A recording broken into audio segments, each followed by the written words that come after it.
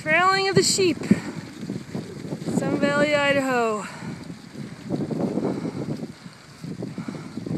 How many sheep are there? 1,500. They all go down Main Street, Sun Valley to their winter grounds.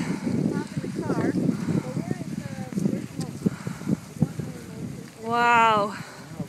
Pretty remarkable. Thought we were to miss it. Oh